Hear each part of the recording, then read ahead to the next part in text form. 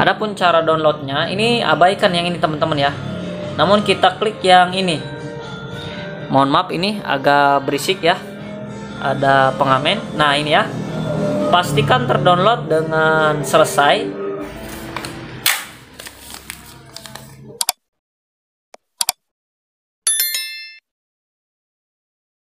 Adapun caranya, pastikan teman-teman masuk ke Google Chrome ke Google Chrome kemudian copy paste link yang sudah saya siapkan di deskripsi video ini.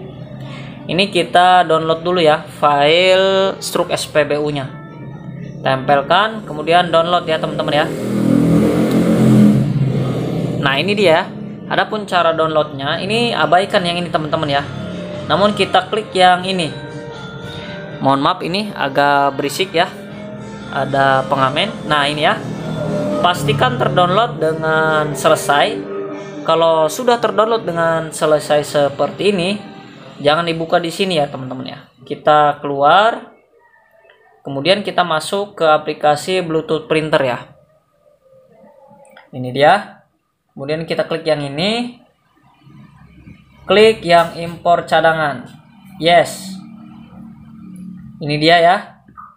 Filenya yang sudah kita download tadi kita klik dia akan masuk ke sini kita klik. Nah ini dia ya. Tuh ya ada garisnya ya teman-teman ya. Bisa dilihat. Ada garisnya ini bagian logonya. Tuh ya ada garisnya. Kita hilangkan garisnya ini. Caranya kita hapus saja logo yang ini. Oke setelah dihapus kita download dulu logo struk SPBU nya ya. Logonya tulis di sini logo Pertamina. Kemudian kita cari. Ini dia logonya ya. Kita download logonya. Oke sudah terdownload dengan selesai. Kita masuk lagi ke ini aplikasi bluetooth printer kemudian masukkan gambar yang sudah kita download tadi teman-teman. Ini dia gambarnya. Nah ini dia ya. Kita klik. Oke kemudian kita pindahkan posisinya ke entry nomor satu. Nah ya.